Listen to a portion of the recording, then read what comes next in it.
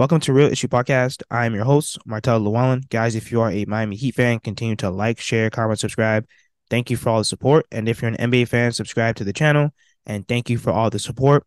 Let me know what you guys think about my channel in the comments. I appreciate all the feedback. Also, too, if you have not yet subscribed, our goal is to push for 2,500 subscribers. Let's try and get that number by the end of the week. Thank you so much. Let's get into today's video. So, trade talks between the Heat and the Blazers could last weeks. I don't care how long it takes. Damian Lillard is going to the Miami Heat. I see what the NBA is trying to do. I see what the Blazers are trying to do. You have Woj up there trying to raise the price for Damian Lillard. All the other reporters are pretty much saying that Dame is going to the Miami Heat, and maybe one or two reporters are trying to push the Blazers' agenda. It's not going to happen. Damian Lillard is going to the Miami Heat. I understand it. The NBA, they're jealous and envious of the Miami Heat. They hate the Miami Heat. The NBA media, ESPN, they all have hatred and jealousy and envy towards the Miami Heat. They don't want to see Damian Lillard on the Miami Heat. They know good and well that if we get Damian Lillard, it's over. We're over here beating up and bullying all these other teams that are quote unquote better than us. But then at the same time, then you also have other reporters saying that we are going to be garbage, even with Damian Lillard.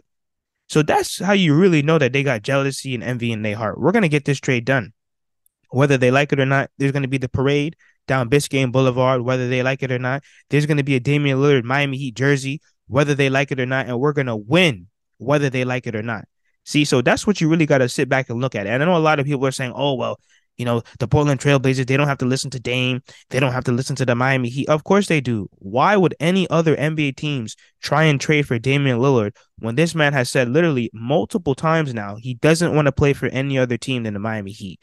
No other NBA team is going to give up assets, young players, and draft picks, especially multiple first round draft picks for a guy that doesn't even want to be there or that's probably going to leave when his contract is done. So this is what you guys have to understand. He pretty much has a no trade clause. He came out publicly and demanded the Miami Heat. And like I said, whether you guys like it or not, it's gonna happen for Miami Heat Nation. All the Heat fans, Pat Riley, Spo, we're gonna get that chip. Whether y'all like it or not, Damian Lillard is gonna be on the Miami Heat. Whether it takes two weeks, three weeks, two months, five months, Damian Lillard is coming to the Miami Heat. Let me know what you guys think in the comments. Like, share, comment, subscribe as we continue to push to 2,000 subscribers.